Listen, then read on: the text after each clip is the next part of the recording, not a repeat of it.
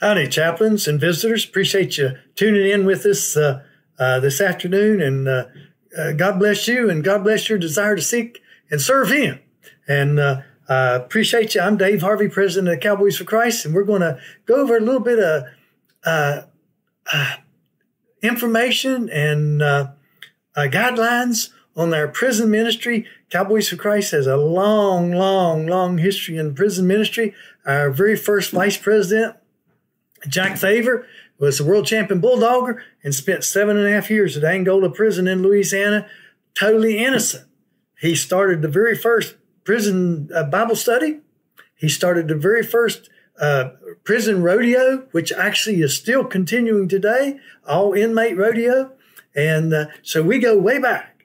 And uh, uh, we appreciate you here, and hopefully you can get some good guidelines and and uh, if you're interested in the jail or prison ministry, uh, please uh, tune in and get some points and go do it. If you're going to do it, do it right because you're serving the master. Let's go to the Lord in prayer. Father, we thank you so much for this day. Father, we thank you for your perfect love, your perfect grace, and your perfect mercy. And Father, we thank you for your Son, Jesus Christ, who died on the cross that we might live and live eternally. And Lord, we seek to serve you.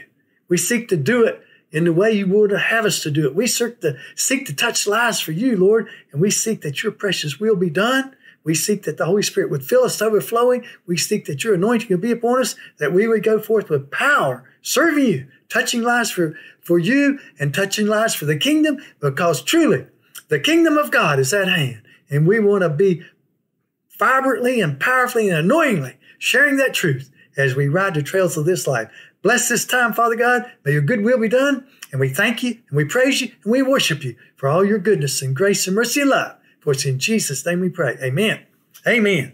Uh, Lord, uh, we want to talk a little bit about the Cowboys of Christ uh, prison ministry and what a wonderful work we do. We offer free Bibles and Bible studies uh, to prisoners and their children and family members when they can get their information and we work uh, really hard on that. We got chaplains and chapters that focus completely on prison ministry, or some that do a lot of it. And uh, so there's a lot of different avenues out there that needs to to uh, be covered in the in the prison ministry and the jail ministry. And what a wonderful work! We got some chaplains that are just touching many lives and I'm hearing more and more about it. And we have some folks that are so interested in it that want to be a part of our chaplaincy program because that gives them a notch up. Suddenly, the, the prison officials and, and everybody know, hey, they're a Cowboys for Christ chaplain and suddenly they are an ordained chaplain, and then they have that that uh, step taken that opens a door that they can go even even go deeper and and more uh, effective in their prison ministry. And uh, so, what a joy it is, and and what a wonderful uh, way to serve the Lord. And I've ministered in many prisons, and I've always said this, and I've always gotten a laugh. And uh, and but anyhow, it's a really neat to minister to a captive audience.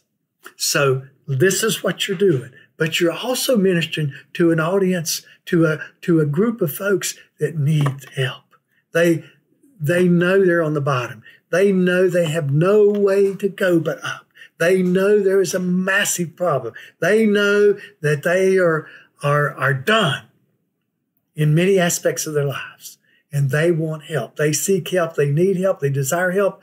And they need somebody to step forward and to provide that help and to provide that uh, uh, uh, counseling they need, that that strength they need, someone to pray for them, someone to talk with them, someone to minister to them, and someone to minister to their families, which is a is a really really uh, uh, element that is just lost by the wayside is is touching the lives of these family members that are are they're really uh, going through the same terrible situations that their loved one is doing in, in the jails or prisons. And and the reason there are it reason they're there where they're at, it doesn't make any difference. The reason is they're a sinner just like you and me. That's the reason. Maybe they've done other things that's uh, uh, the court's caught up with them and they're now they're spending time, but they're still They're a sinner, just like me and you. So you remember that as you go minister to them. But also remember this. Uh, I just uh, heard from uh, Mrs. Uh, Banks uh, yesterday, and and and Chaplain Banks, who was uh, Dr. Banks, was a prison chaplain for many years in a couple of different states, and long time part of Cowboys for Christ, and and but I heard that uh, just got the word yesterday from uh, his wife that he had gone to be with the Lord. So, uh, but uh, it's uh, uh, but I ministered to many prisons. But Chaplain Banks told me he said, Dave, remember, this is many years ago. He told me this. He said, when you minister to these people, remember they call them con men for a reason. Now, I'm not trying to be derogatory in any way, but I'm saying you minister the love of Jesus Christ and you have your focus on sharing the Lord Jesus Christ with them and don't get caught up in anything personal, anything personal. And I want to share this right now. This is number one, number one, a number one no no. Listen to me, listen to me. As Dr. Banks would tell you, listen to him. And I listen to him. I'm not trying to be, because anybody, because those people need God's love. But listen to this. Number one, a big no no. With every inmate or prisoner, prison or jail, do not give out your personal address, your email address, or any personal information. Listen to me. Do not give out any personal address, email address, or personal information. Many years ago, we had a wonderful prison team, ministry team. We made up. We it was a wonderful team. We were traveling around to these uh, big federal prisons and doing ministry work, and it was great.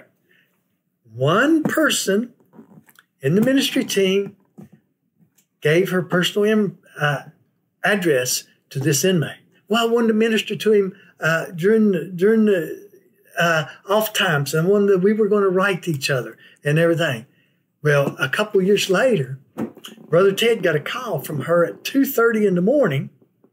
Two thirty in the morning, said he's on my back porch. What I do?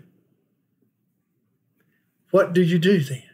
then that's that's not ministry. When you when you break that down there, then you started putting you in there and taking the Lord out. When you start putting you in there, you're not doing any good. You're you're no good as a as a as a ministry team member. You're no good. You're washed up. You're done. So don't do it. Don't do it. Don't ruin that because we lost our, our right. Cowboys of Christ lost the right to minister at that prison because of one infraction. We dissolved, we had to dissolve that whole ministry team because of one infraction. Don't do it. When you start putting personal in there, you're done. So remember that. They need help. They need Jesus Christ, and they don't need you in the way.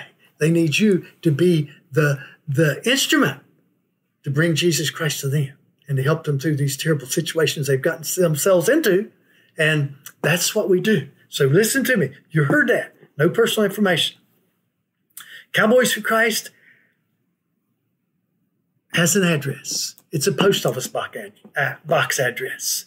If you are ministering or writing to a prisoner, you use a P.O. box address or use our P.O. box address. Uh, P.O. Box 7557, Fort Worth, Texas 76111. We have had that post office box since 1976. So use it if you need it. Also, you give them the information, uh, uh, CFC mail at cowboysforchrist.org and we'll handle everything. You personally cannot send a Bible and a Bible study to a prisoner. It is not allowed. No prison, jail will accept it. It has to come from Cowboys for Christ. It has to come from the ministry. It cannot come from an individual. So don't try to send them because they're just going to send it back to you. So do it right. And this is the thing I want to, to uh, emphasize greatly do it right. It's a wonderful ministry. You can change many lives. You can be a part of restoring lives. You can be a part of doing a wonderful work. These folks that are inmates, so many of them are there that they shouldn't be there. They're there because they're poor. They're there because they don't have any money. They're there because they didn't have a, a fair trial. They're there for a number of reasons. Some of them are there because they're guilty. Doesn't matter why they're there. They need Jesus Christ.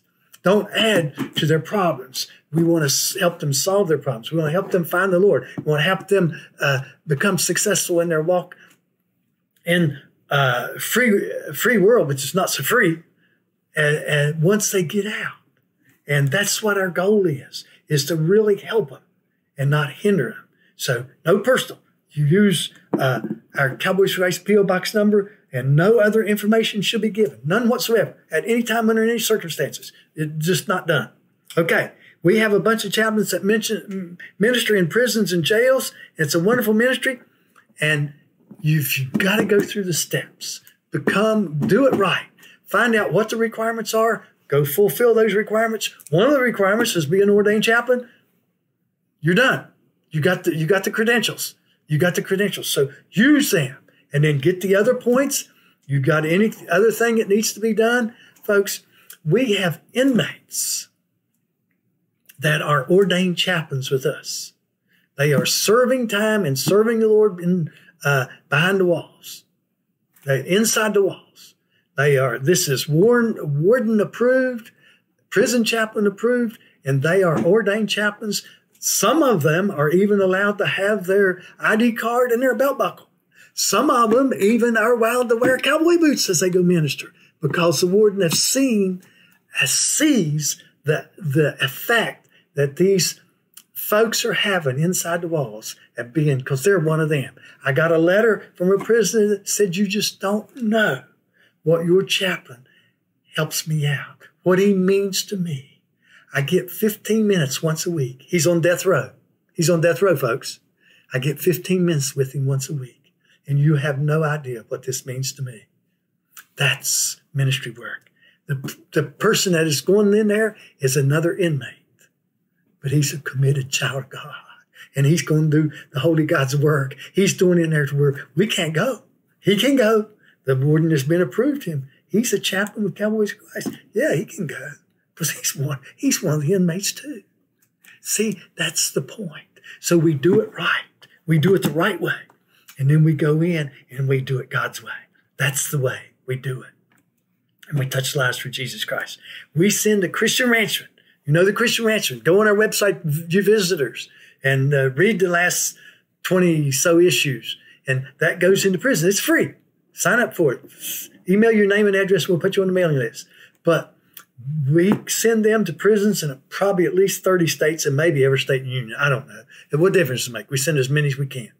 And it's free to these prisoners. And I've had so many prisoners write. And we have so many testimonies in there from prisoners that have found the Lord through that little paper. They wouldn't read another thing else, but they started reading the Christian Ranchman and received the Lord through it. And now they're uh, uh, a child of God, and some of them are serving the Holy God through it. So that's that's victories. That's the victories we want. That's the success stories that we want uh, that we want to hear and we want to see and we want to realize. And that's what it's all about. Okay. Uh, uh, if you need to, if you have problem with an inmate, now sometimes we have that. Like Dr. Banks, I told you, Dr. Banks said they're con men. That doesn't mean they're bad. It doesn't mean they're mean they're in trouble and they're looking for ways out. And some of them are not working for the proper way to get out or to get out of, or, or get some help or get something, something that maybe some things they shouldn't have. And so, but but what we want to do is work with them right. So if you have a problem, and I had a chaplain call me up and said they had an inmate that kept bothering them and called two or three times a day. Some of them have phone privileges. Some of them can, if they got the money, they can spend the money and they'll do it. So uh, I said, I'll take care of it. Well, the chaplain, prison chaplain wasn't there that day.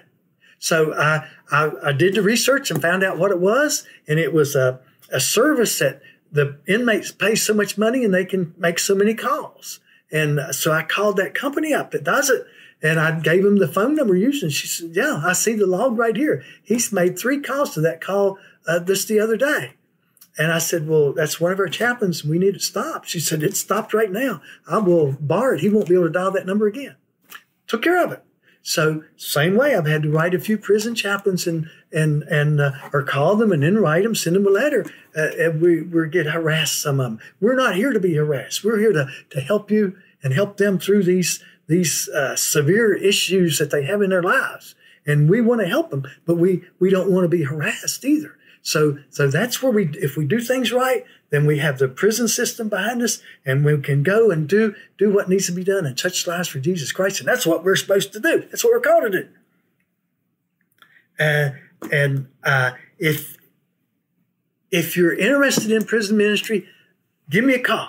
I will. Uh, I've had a number of little forms come send to me about uh, he needs this form signed by uh, their religious head as uh, so authorizing them to come to this jail minister. I I don't fill those out. I got a recommendation letter that I will send you the date of your ordination, the date of your time. Uh, you are an ordained chaplain of the Cowboys of Christ, and and and uh, uh, I have that recommendation letter, and I send it right to you. And then you can take it right and hand it to them. And believe me, they would love to have that in your file, in their in your file. But so much more than just that little card you fill out. So if you need help, let me know. We have uh, uh, most of the time you cannot take anything into a prison to minister. We have to mail it in.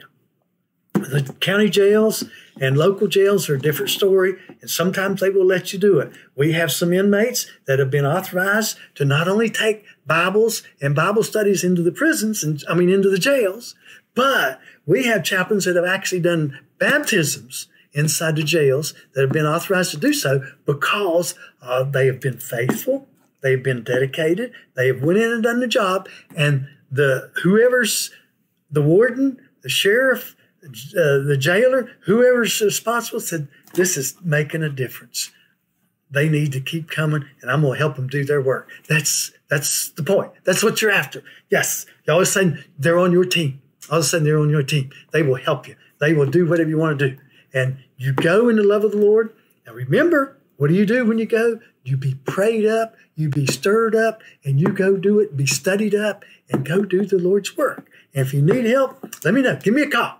817-236-0023. Dave at cowboysforchrist.org. Do the work of the Lord. Go out into these jails and prisons and touch lives for Jesus Christ. We got Bibles, Bible studies. We got Christian ranchmen. Whatever you need, we'll help you get going and we will help you do it. But you got to make that commitment. You got to step out in faith and do it. God bless you as you touch lives for Jesus Christ and as you go to these confined areas to there share the gospel, go in the grace and the power and anointing of the Holy Spirit to do his work and touch lives for him. God bless you as you go. In Jesus' name, God bless you.